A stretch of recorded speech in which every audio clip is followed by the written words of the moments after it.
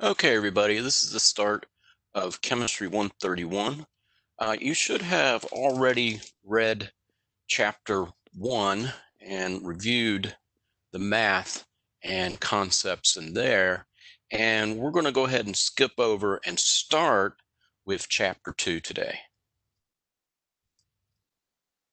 Now, chapter two is about measurements and doing calculations and these things called significant figures and conversions. Okay, so the first thing we have to know is that we, whenever we make a measurement, we have to have a number, we have to have a number and a unit to go with these. Okay, and so something might something might look like um, 1.24 centimeters and the 1.24 would be the number, and the centimeters would be the unit. Okay, now, hold on here.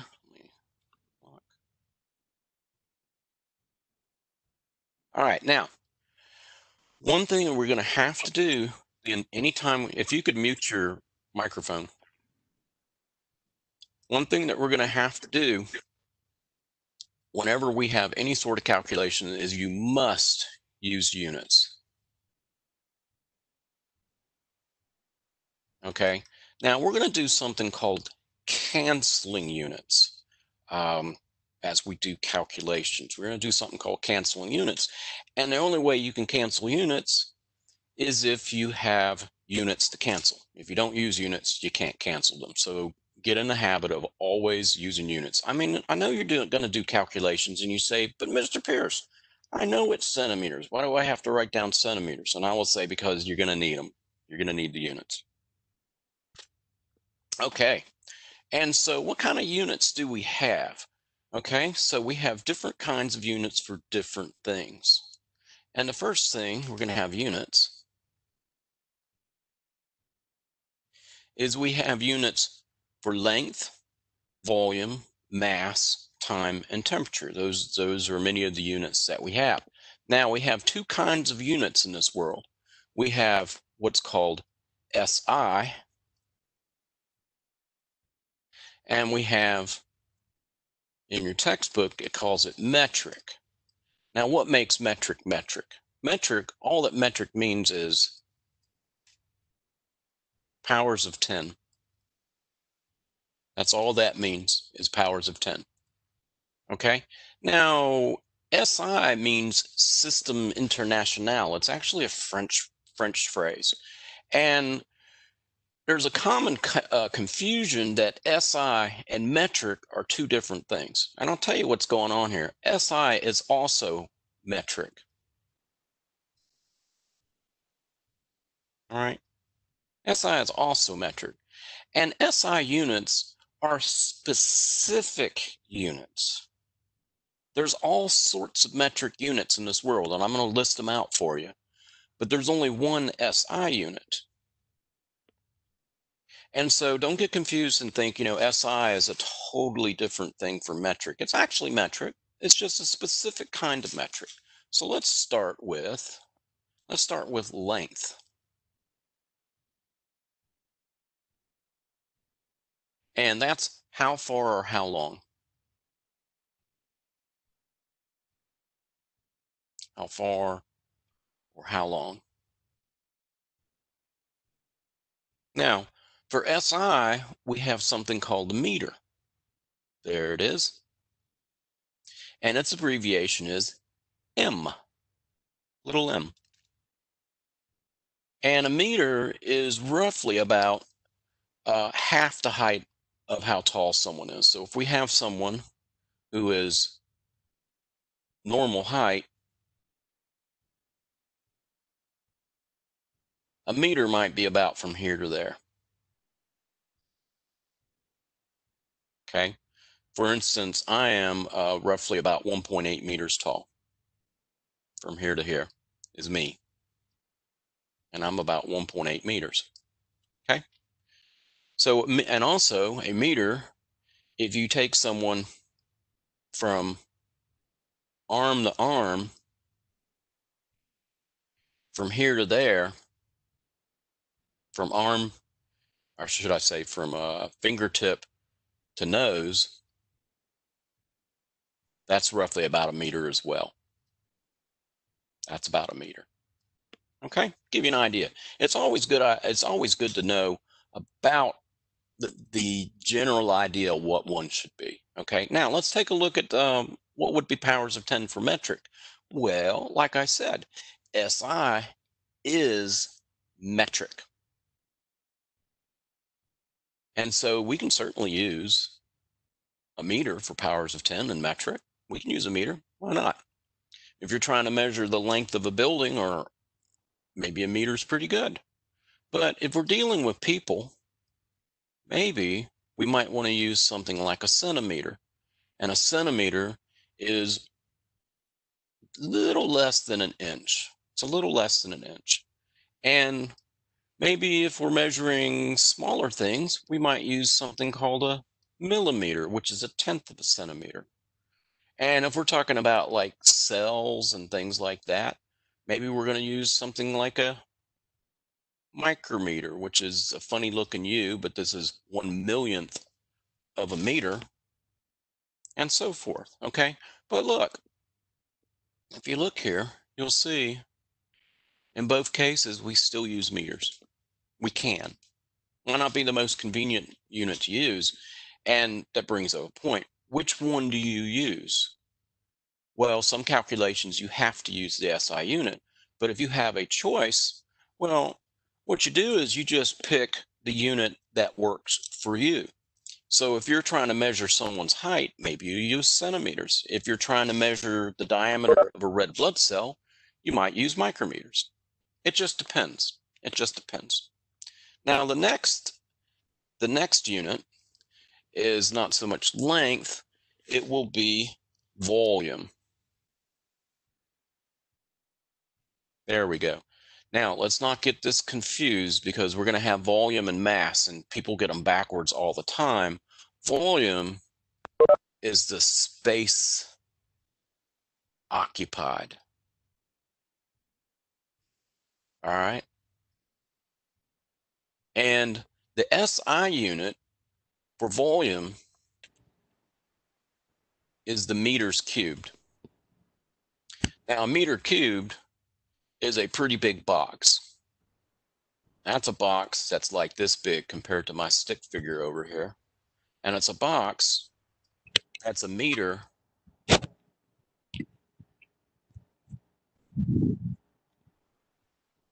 on all three, all three edges. All right, just a second. Let me, um, I'm going to stop sharing here for just a second. And I'm going to go over here and participants, and I'm going to mute on entry, mute all. There we go. All right, and let me get back to sharing.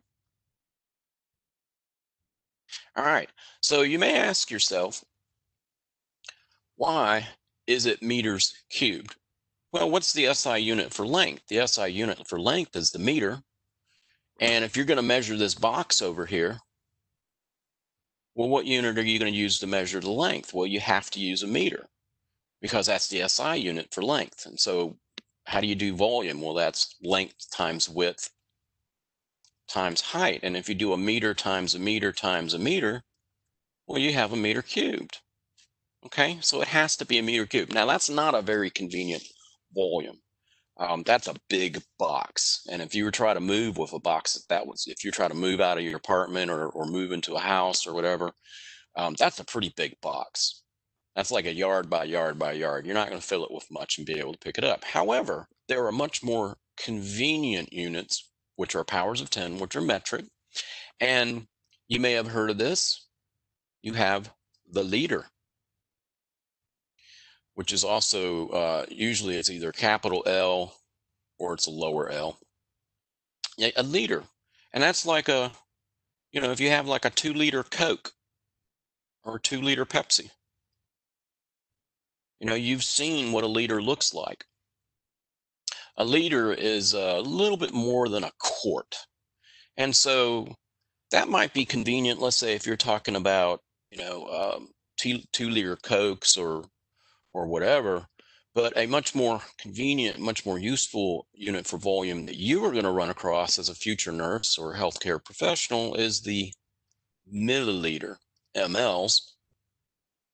And turns out that an ml is exactly the same as a cubic centimeter, and it is exactly the same as something called a cc. Cc is actually an abbreviation for cubic centimeter in case you've always if, in case you've ever wondered about that. So if you're giving someone an injection uh, you may be told to give them you know 3.3 cc's which is the same as 3.3 cubic centimeters which is exactly the same as 3.3 milliliters. So if you have if your if your uh, order is to give so many cc's and you're holding a syringe that's measured in milliliters well, there's no real conversion to do. All you got to do is just say, well, it's the same thing. They are exactly the same thing. Milliliters, cubic centimeters, and cc's are exactly the same thing. And that's important to know because you're going to run across this as well. You don't want to be a person who says, well, how many milliliters is that? Well, it's the same thing. Okay. And if you're dealing with um, uh, really small injections, you might have you know, a microliter, which is a millionth of a liter, which is uh, a hundredth of a, a thousandth of a cubic centimeter. Okay, and like I said before, uh, the SI unit may or may not be convenient in this case for volume in our cases, unless you're building building bridges and pouring concrete. The cubic meter is not very convenient. Uh, milliliters and microliters and liters are a lot more convenient. But the but the cubic meter, that's the S that is the SI unit. Okay, now next up we have mass. Now mass is the amount of matter. Matter being the stuff that everything's made of. All right. Now, don't confuse it with volume. Volume is space occupied. Mass is how much matter you have. You measure mass on a scale. When you step on the scale and measure how much you weigh, well, you're measuring how much mass you have. Your volume, on the other hand, well, it's true. You know, if you're bigger, you're going to weigh more. If you're smaller, you're going to weigh less, but that's something called density. Okay. You can have something that is really big and not have much mass, like the air in the room is big, but it doesn't weigh much. And you can have something that is pretty small, very small volume that weighs a lot, like a piece of piece of lead. It weighs a lot, but doesn't take up much volume. So volume and mass are two completely separate things. You have space occupied and you have the amount of matter. Okay, now the SI unit for mass is the kilogram. And that's not too bad of a unit. It's the SI unit. It's a specific unit for mass, how much someone weighs. And I weigh about, I want to say I weigh about 75 kilograms today. Okay, that's about how much how much a regular sized person uh, will weigh. Um, 75 kilograms. And that's not so bad. If you're trying to measure someone's, if you have a patient and you're trying to measure how much they weigh so that you can calculate uh, dosages, and I'm going to show you how to do uh, nurse math, uh, and you have to do that, well, that's not such a bad unit to use. However, if you're trying to measure out, say, um, medications maybe for metric, you might want to use grams in addition to kilograms. I'm going to go ahead and erase this and add a kilogram here because, you know, metric is SI and uh, SI is metric. And so we can certainly use SI in our metric. But you might want to use grams.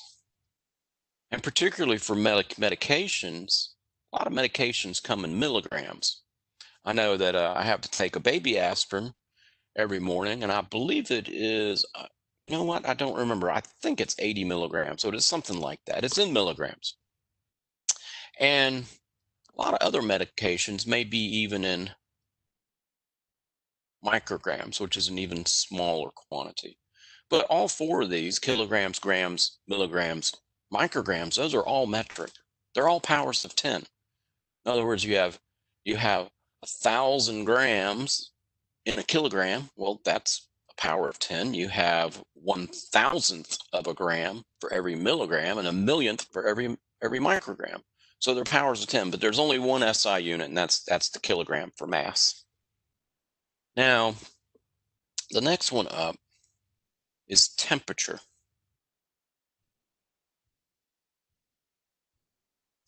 Temperature is generally a measure of how hot or how cold something is. And the unit for temperature is something called the Kelvin in SI. And that's abbreviated big K. And usually in metric, we don't measure temperatures in Kelvin. We measure them in degrees Celsius, although Kelvin is metric. Uh, and the reason is just just what just this is just what thermometers come in. They come in degrees Celsius or Fahrenheit, and usually, and we're going to have to be able to convert back and forth between those. But that's for chapter three. And so, when we have degrees Celsius, if we want Kelvin, we add 273 to it. Now, why in the world do we need two different temperature scales here? And the reason is, is that Kelvin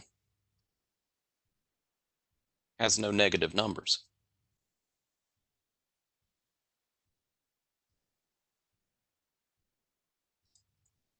And that's important, uh, particularly when we get to uh, gas law calculations later in the semester, you'll have to do all the calculations in Kelvin because if you try to use negative numbers in your gas law calculations, bad things will happen.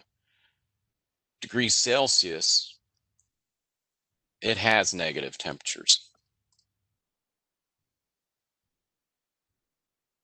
And if you're not familiar with Celsius, at least think about this. Um, if you're measuring uh, the temperature outside North Carolina with degrees Fahrenheit, well, right right now it's pretty warm, but over the winter, uh, winter before last, I remember it was it was five below. It was negative five, negative five degrees Fahrenheit, which which works out to be uh, what is that? It was about a negative 15 or something like that degrees Celsius. So you can have negative temperatures, but Kelvin, with the way the scale's set up, uh, you can't have negative temperatures. And that's important when we go on to do our calculations. And the final uh, unit that we're going to use is we're going to use something called time. We all know what time is. Right now, as you know, it's we've the seconds are going by. And for SI, there's only one. That's the second. And for metric, there's still only one um, unit that is metric for time, and that's a second. And you may say to yourself, well, you know, I'll accept. I'll take your word for it on on SI. You know, SI a second is we got to pick some sort of unit. But why is uh, seconds uh, the only metric unit? Well, think about it for a second. For a second. Um, how many seconds are in a minute? 60 seconds in a minute. That's not a power of 10. Powers of 10 is like 1, 10, 100, 1,000, 10,000, 100,000, million. That's power 10. Well, how many minutes are in an hour? 60 minutes. Hold on. Race that real quick. There's 60 minutes into an hour, and there's 24 hours in a day, right? And so forth. None of those are None of those are metric. None of those are powers of 10. Um, and so, but if you know how to read a clock, it, it's not something that you worry about. But if you're doing some sort of calculation that involves time, you have to use seconds. You have to use seconds. Okay, so that's that's units. Now, like I said at the very beginning, it is very important that for all calculations, that we use units every time. Okay? It's a really bad habit to get into where you just use just the numbers. Um, you may know exactly what you're doing as you're writing out the problem, but if you go back and look at the problem and all you see is 2.3 times 4.9, you may not remember what it was that you were trying to do. And not only that, but you can't cancel units. And we're going to get into canceling units in a little bit. Okay. All right. So let's move on to measured numbers and significant figures. All right. Oops, let's change colors here. I usually don't use red except to say, you know, don't be that person. That's when I do that. So let's go measured numbers.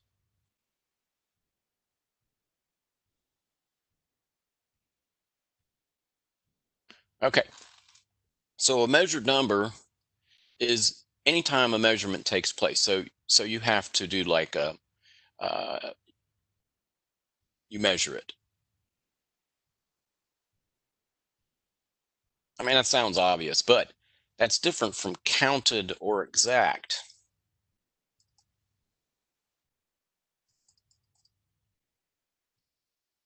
You don't measure.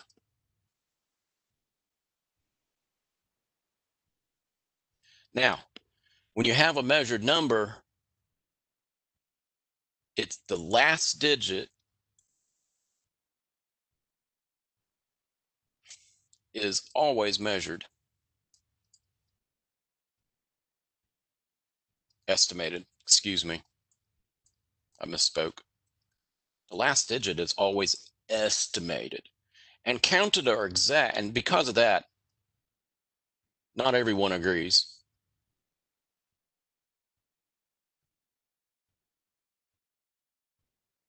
Because you know if it's estimated it means we everyone can see it a little bit different. All right i'm going to show you what i mean in just a little bit. And counted since you don't measure it you're counting it as long as you can count and you go one two three four five six then everyone agrees.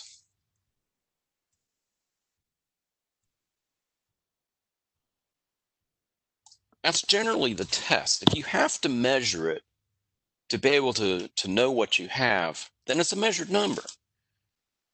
And I'm going to show you about estimating. I'm going to show you how to estimate in just a second here, but but counted, everyone agrees. If we were in a classroom, we would look around the class and say, you know, there's 11 people here. And as long as you can count, everybody should agree there's 11 people. If I draw if I put three X's here, everybody should agree as long as you can count. I mean, that's that's a requirement to be able to count. As long as everybody can count, you would say three X's.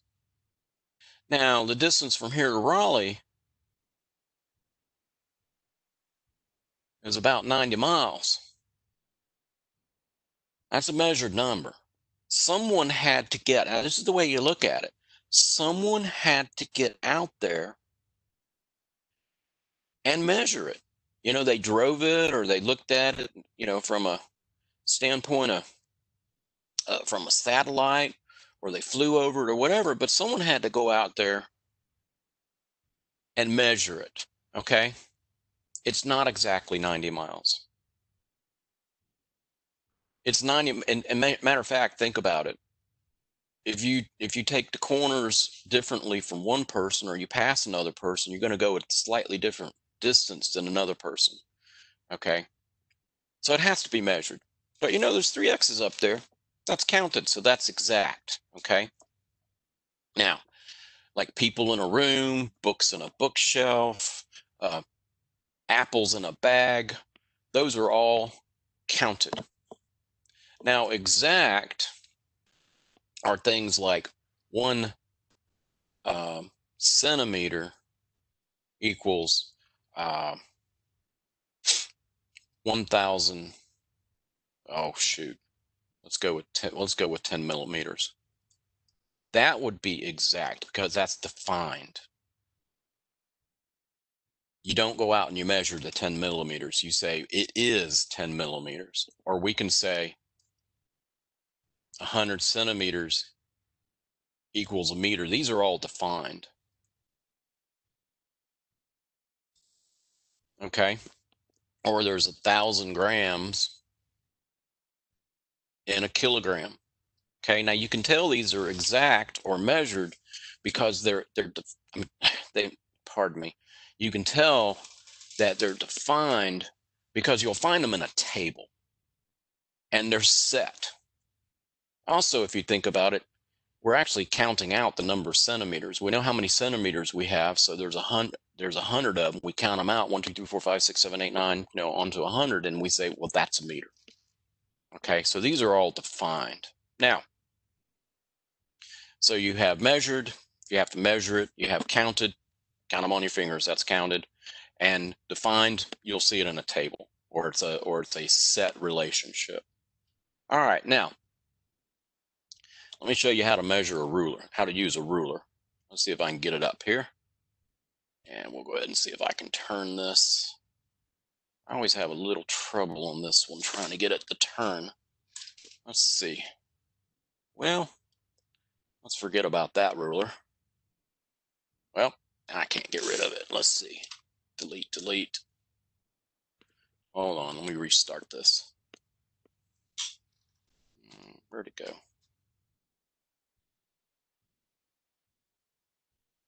I'll just sketch out the ruler. Alrighty. So let me show you how to read a ruler, and then we're gonna and I'm gonna show you what I mean by estimating. Okay. So let's say we have this ruler right here. I'm gonna draw a ruler. Pretty good sized one. There we go.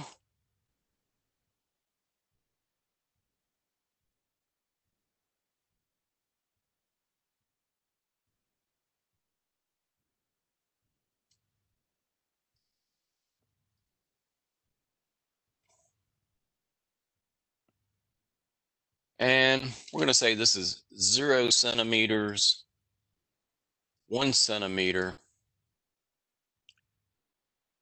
two centimeters. All right, this is a metric ruler. And I'm going to point out that these guys right here, these markings, these guys, these are millimeter marks. Okay. There's 10 of them for every centimeter. You can count for yourself. You can see it's 1, 2, 3, 4, 5, 6, 7, 8, 9, 10. There's 10 marks in between the 0 and the 1 and the 1 and the 2, and those are called millimeter marks. Okay? And so let's say we're trying to measure a length, and the length that we're going to measure is right here. Okay? There it is. Now, how do we measure that distance? Well, we have, uh, when we're making a measurement, we have numbers that we are certain about, and we have the estimated digit. The estimated digit is always the last digit. Okay, so what are we certain about? So I am certain, I am certain at least one centimeter. Okay? And so we say one. Now, the next digit is going to be one point something. And so I'm going to mark over here and I'm going to say that I am certain.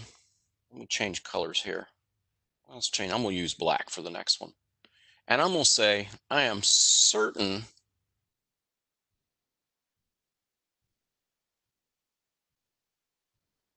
that this is at least 0.2. And so I say 1.2. Okay. Let me knock this back just a little bit. It's at least 0.2. Now, it's more than 1.2 right now. Where that little blue arrow is, it's not 1.2 it's 1.2 and something more. Now I know, now I know it's at least 1.2, but it's less than 1.3. I know. Okay. So we're going to have to estimate that last digit. we're gonna have to estimate that last digit. Now, the way we estimate these digits is we look in between the tick marks. That's what those little millimeter marks are called. We look between the tick marks and we estimate, we imaginarily, we imagine splitting this up into smaller tick marks. Now it's not printed on the ruler, so this is why we call it an estimation. And so I'm going to estimate, I'm going to estimate this, and I'm going to say my estimation is going to be 0.00, 0.0 what? What are we going to say here? I'm going to say that's about an 8. Now, you, you might say, well, that looks more like a 7 and some other folks might say, well, that looks more like a nine. Well, you certainly wouldn't want to say it looks like a three. Okay, it's definitely past the halfway point. And so I would estimate 0.08. And so we would say the estimated digit is eight. And so that would be estimated.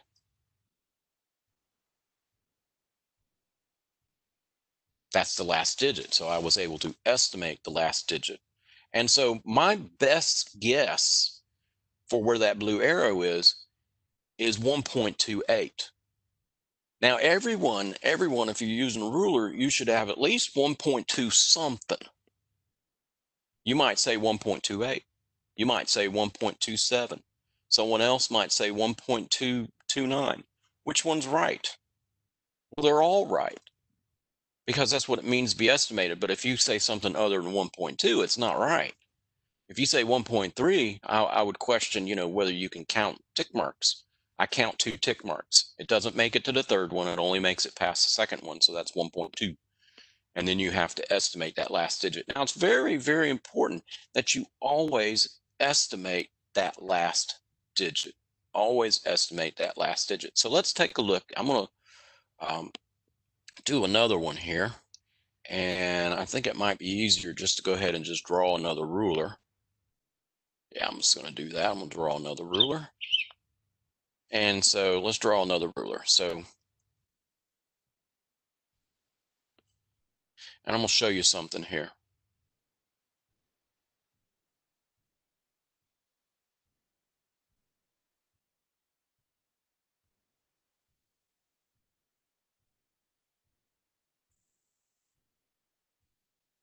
One, two, three, four.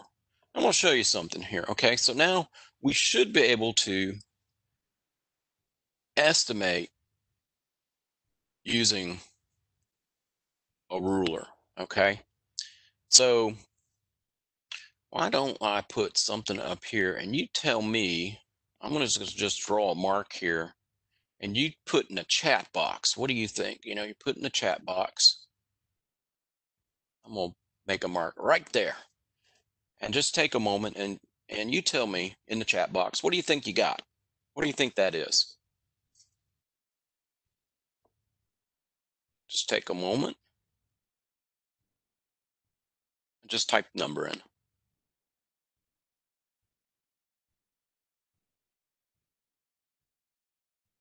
Okay. Well I look at this and I see that it's at least one centimeter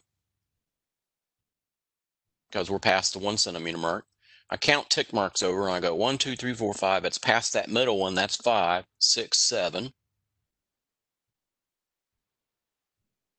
And then I look, it's not quite halfway in between that, that seven and eight tick mark. And so I'm going to say it's 1.74 centimeters. Oh, okay. Well, good job, Jaden. So I'm going to say that's 1.74 centimeters. Okay. How about like, uh, now what do we do if we're on the line? What do we do if we're on the line? Let's say that we're right on the line, as close as I can tell, on the line. What do you do? Well, first off, I know it's at least two centimeters because it's right on the line. Now, let me extend out this ruler just a little bit. does it make it to the first tick mark? In other words, 2.1. No, it doesn't. So it must be 2.0 if it's right on the line because you don't make it to the next tick mark. If you're right right on the line, since we didn't make it to the first tick mark over there, are we just a hair over or a hair under? And since we're right on the line, we're right on the line. And so we would say 2.00 centimeters. Look at it this way. This part right here, I know. And that part is estimated. So if you're right on the line, the last digit, the estimated digit has got to be zero if you're right on the line. Okay?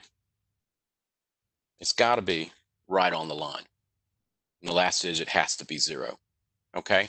So even right over here, if I was to say right there, and I'm right on the line, okay, that would actually be, well, what would you say? You would say, well, I know it's one centimeter at least.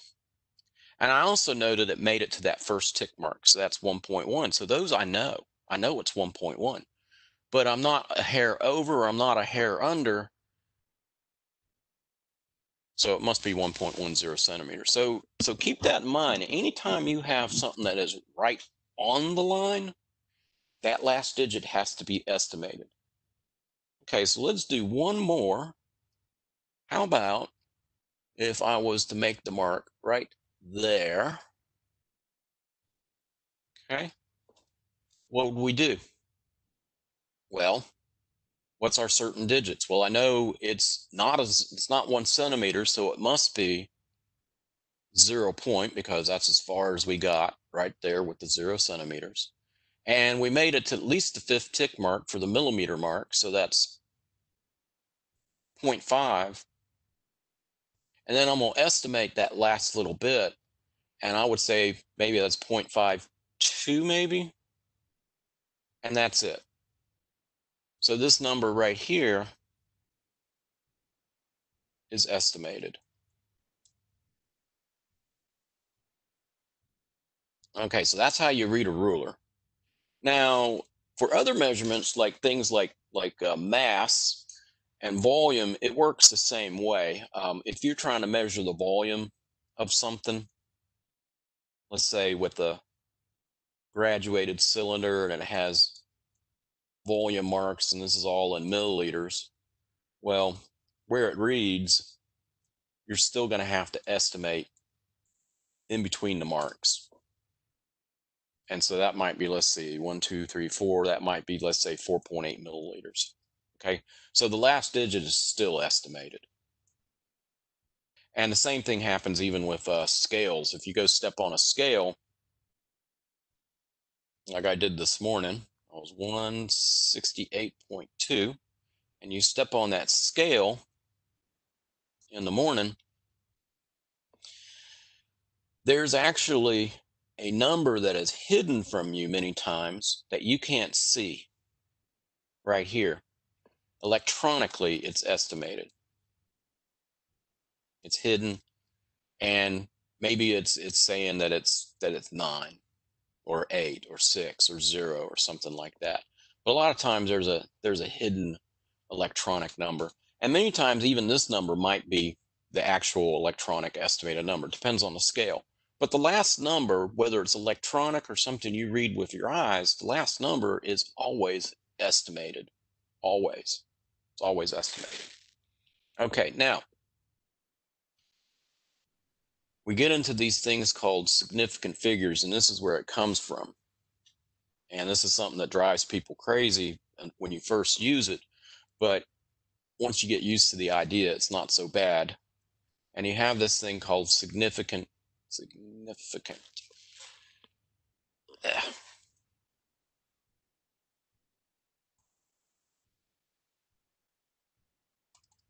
Okay. Now, the thing about significant figures is if it's measured, it's significant.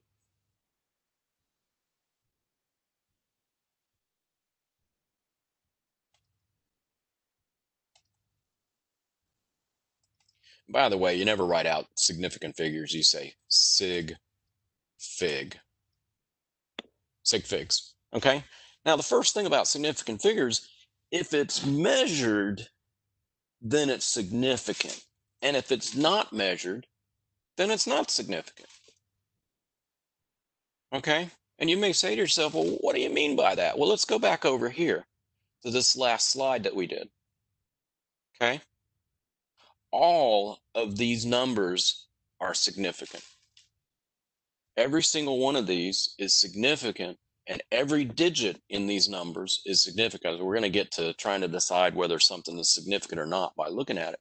But every digit is significant because every single one of these on this on this slide here we measured okay now we go back over here um, let's go back over here and so if I measured it, it's significant. Now, if I didn't measure it, it's not significant. Okay, so what do we have over here that that was not measured? Well, there's only one thing on this whole slide here that I didn't measure, and that's right here. Not measured. Why is it there? I mean, I, I didn't measure the zero. I just said it's there is there is nothing to measure there. It's a placeholder. It's a leading zero, something called a leading zero. It's it's it's not measured. I didn't measure it. I could have added some more zeros in front of it and it's not measured. Okay. The 5 2 was measured. The zero is just there to tell you that there's a decimal there. Okay, so that's not measured.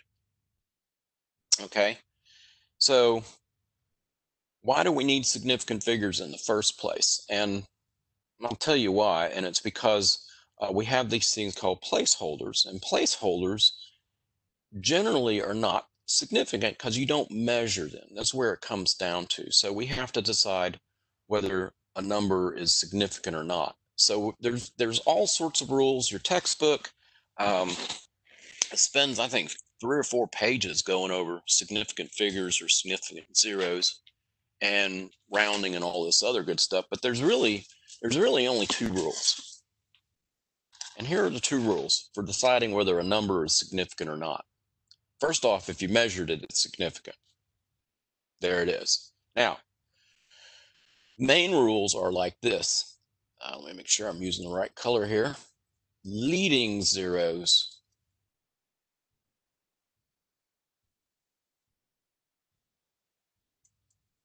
are never significant.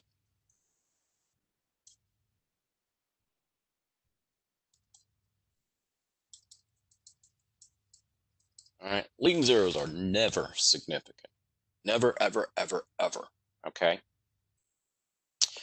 Trailing zeros, and I'm going to show you what, what I mean by trailing and what I mean by, by uh, leading just a second, but I'm just write down the two rules here. Trailing zeros are not significant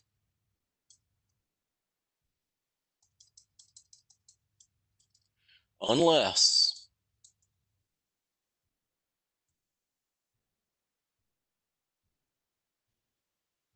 there is a decimal somewhere.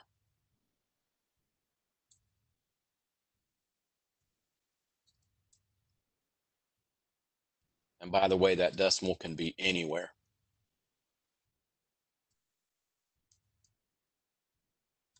Okay. Leading zeros are never significant. Never, ever, ever, ever. That's why I put it in red. Trailing zeros are not significant unless there's a decimal somewhere, and that decimal can be anywhere. Okay. Now, if it's not trailing and not zero and not leading, it's significant. Okay. If it's not these two cases, then then zeros are significant. And the whole point of this trying to tell whether something's significant or not just by looking at it is really all about the zeros. If it's not zero, then it's significant. So let me show you some examples here. Okay, so let's take a look at this number here. So let's start with some, some uh, trailing zeros. And let's say we have a number Okay. That is 123,000. Now, how many sig now now the now the skill here, the skill is how many sig figs do you have? Okay. And so I look at this and I go, well, you know what? These are all significant up here. I know those are significant. But what about these? Now, trying to tell whether something's significant or not, we're really, what we care about are the zeros. Okay? So if we look at this, these zeros are trailing behind. That's why we call them trailing zeros. This is trailing. All right, those are trailing zeros. So I see the see the zeros trailing behind. And there's no decimal. There's no decimal in there. So therefore, this is 3 SF, sig figs. We just say SF. Therefore, it's 3 SF. Trailing, it has no decimal. What if I was to put a decimal in there?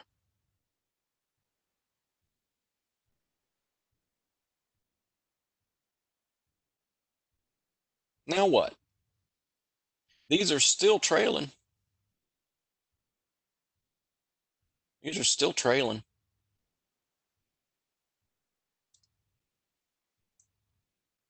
But what do we have here?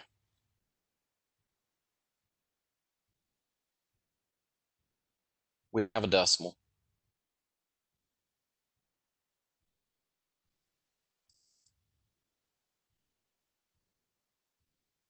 It has a decimal. So we have to count. So we're going to go in here and I'm going to count. And so we go we go switch colors here. So we go one, two, three, four, five, six. This is 6SF. Does it matter where that decimal is? No, it sure doesn't. Um, I can rewrite the number again. That's that's uh, 1230. The top one was 123,000. I can say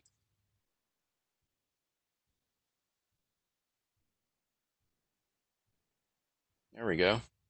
That's also a trailing zero.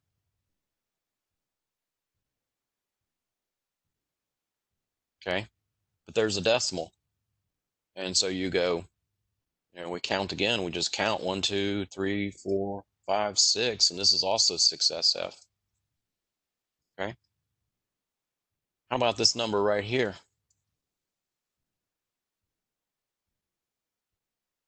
Well, that's not trailing.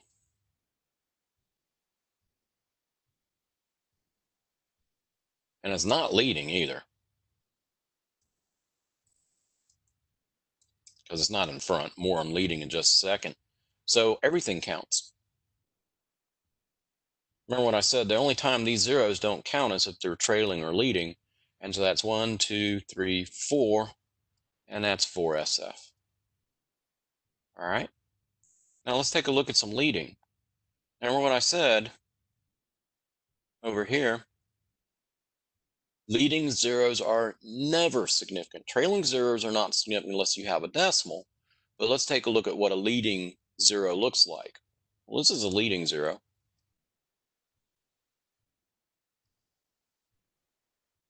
These are all leading. Whoops. These are all leading.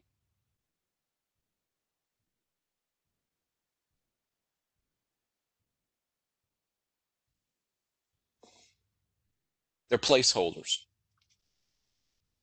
You don't measure placeholders. They just show you how small or how big something is. And so placeholders are not significant, but that's a that's a leading zeros. So this is this is uh, one, two, three. This is three SF. How about how about this number right here?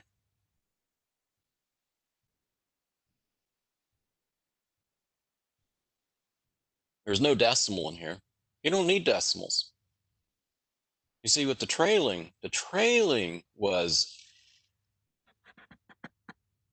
significant if they have a decimal, but leading is never, ever, ever, ever. So it doesn't matter.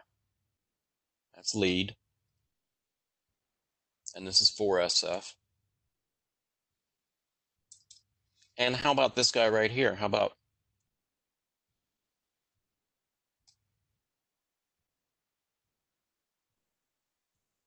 how many sig figs do we have here? Well, we take a look at it, and what are we going to see? We see lead,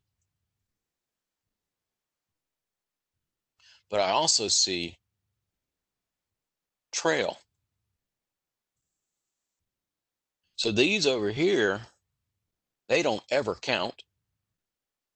But these over here on the right, they do count.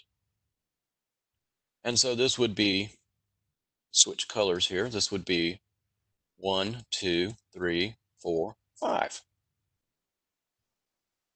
Five SF. And finally, I'm going to do one more. Let's say we had this number right here.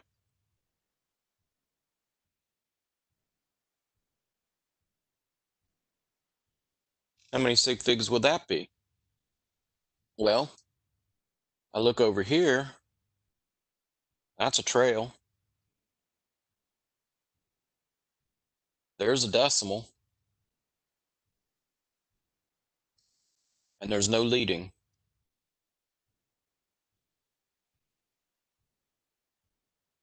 And these numbers in here, these zeros, those are measured. They just happen to land on zero.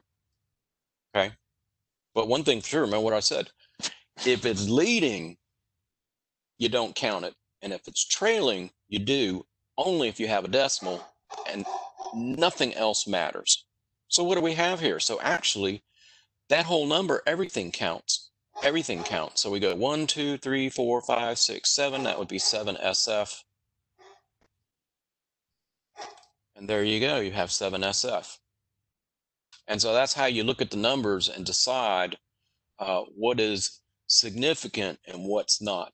Now, in all cases, if it was significant, part of the significant figures, that last number, whether it's five, three, or zero, that last number uh, was measured and estimated. Okay?